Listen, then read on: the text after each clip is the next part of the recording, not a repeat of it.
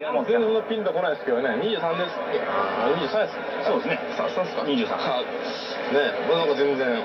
やっぱり一桁ぐらいになってから。そうでしょうね。みんな全然マジックのこと、はそういう話話してもなんないしね。あーそうですなんないですよ、別に。いつ頃ですかね、大和には。ねいや、反応あるね、やっぱり、野球ってね、用心深いしたらキャッチャーはあれ全然面白いってことあるあるから、感じですよ、まだ。そうですよね。まあマジック出ればね、もうなす肩も消していくだけだから、ね、なくなっちゃう時もありますけどね。バッティングコーチの立場からして、いつ胴上げがあるかなというの胴上げなんていうのはまだ考えてませんよ。いや、本当ですよ。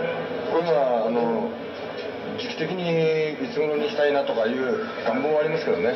今、東京で。こっちは言ってたぞ9月9月11日だと。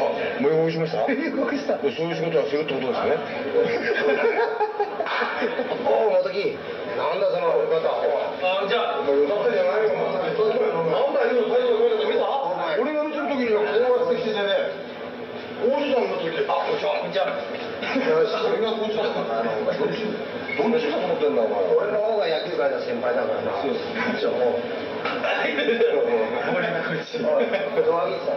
はい。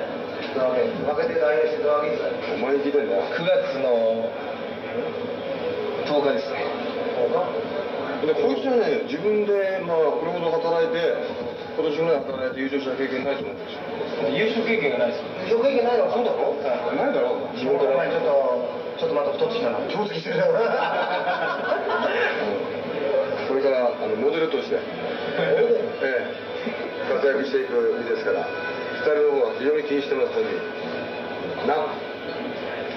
じゃあ若手を若手は10日ベテランは11日どっちが当たるかな19だよ。だからさ、15から19でしょうね。